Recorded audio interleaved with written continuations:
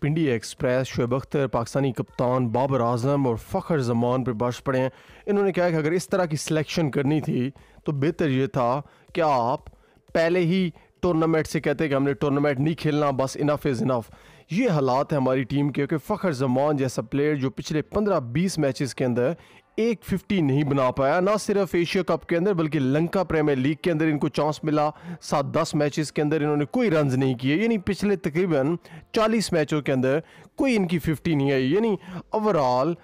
इतनी पथेटिक इनकी परफॉर्मेंस है इतनी मायूस कन परफॉर्मेंस है कि शायद दुनिया की किसी भी टीम में ये शामिल ना होते। आज बाबर आज़म रोटी ग्रुप का हिस्सा है रोटी गैंग का हिस्सा है ये अलग इन्होंने गैंग बनाया हुआ है। वहाँ एक तरफ़ फ़हीम अशरफ है तो दूसरी तरफ़ ये फ़खर जमान है तीसरी तरफ़ शदाब खान है। यानी अजीब ड्रामेबाजी बनाई हुई है। फेवरेटिज़म का कल्चर बनाया हुआ है लाइक डिसलाइक जो आ, कोच का फेवरेट होगा कप्तान का फेवरेट होगा वाइस कप्तान का फेवरेट होगा वो प्लेइंग एलेवन के अंदर खेलेगा बाकी सारे जाए पहाड़ में, यानी कोई फ़र्क नहीं पड़ता। पच्चीस करोड़ आवाम से, यानी पच्चीस करोड़ आवाम बेशक मरे इनकी लोग वैसे डिप्रेस हैं लोग थोड़ा आ,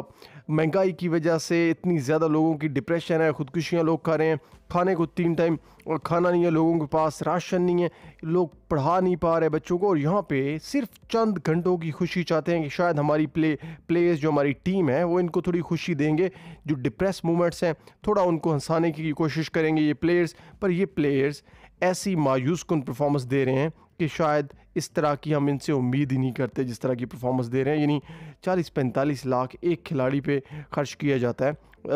इससे भी ज़्यादा किया जाता है। इनके ट्रैवलिंग अलाउंस देखे जाएँ, इनकी five star seven star hotels के अंदर रहते हैं। यानी बाकी सारी अगर चीज़ें कंसिडर की जाएँ तो इन पर बहुत ज़्यादा करोड़ों रुपये में खर्चा हो रहा है मंथली पर ये परफॉर्मेंस ऐसी है कि आप ना सिर्फ़ ज़ीरो रन्स बना रहे हैं, कोई आपकी हालत नहीं है, आप बॉलें डॉट कर रहे हैं, यानी पंद्रह बीस बॉले डॉट करके चार रन बना के ना सिर्फ़ बॉले आपने ज़ाया कर दी हैं, बल्कि टीम पे बोझ हैं आप। ये नहीं, आप अंदाज़ा लगाएँ कि इस तरह की परफॉर्मेंस आपने पहले कभी देखी है कि पंद्रह बीस खिलाड़ी मैचेस के अंदर एक उसने फिफ्टी ना बनाई हो और फिर भी वो कंसिस्टेंट खेल रहा हो। यानी शेम है शेम